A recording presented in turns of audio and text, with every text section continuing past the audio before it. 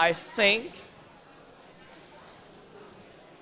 AIESEC gave young people a chance to contribute to the development of young people, their kind, and therefore making a real impact for the society afterwards in the future.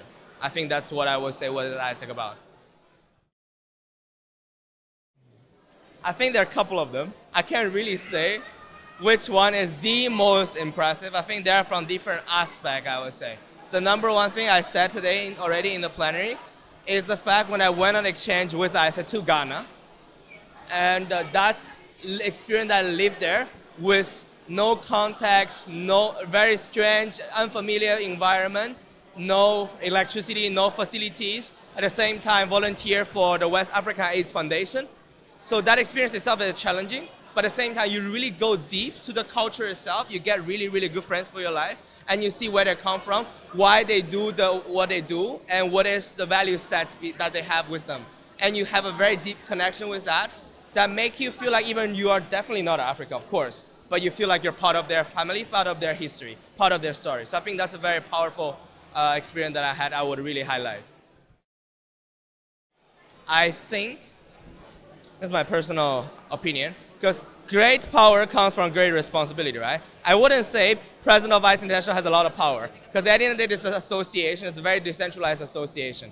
But the fact that you are sitting on the global headquarters, being a leader of that global organization, that gives you a lot of responsibility. You need to be able to make right decision, sometimes tough decision, because it might not be pleasing everyone, but it has to be aligned with what AIESEC wants to do.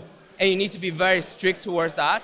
So therefore, I think that responsibility is really, really big. Whatever decision you make from the office, you know, suddenly you make the decision, 100,000 people might be impacted, and you gotta be really, really clear what you actually is doing and what you're actually serving for. So I think that's for me the, the implication of what does it mean to be uh, the president of AIESEC International.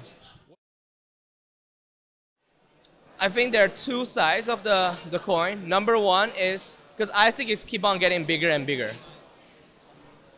If AIESEC is keep on going bigger, we are, we are a volunteer-based organization. How can we ensure that by growing bigger, we're still able to manage the organization itself so that we don't lose, let's say, the quality of the experience. We don't lose the essence by mismanagement because people always make mistakes. Once you have a much bigger scale, it becomes very easy for you to make mistake, like unconsciously, right? So I think that's a challenge that I need to solve from a management perspective. The other side of the coin is from the value and the essence perspective, because the world is evolving very fast. People always say, yeah, whatever is true today might probably not be true tomorrow.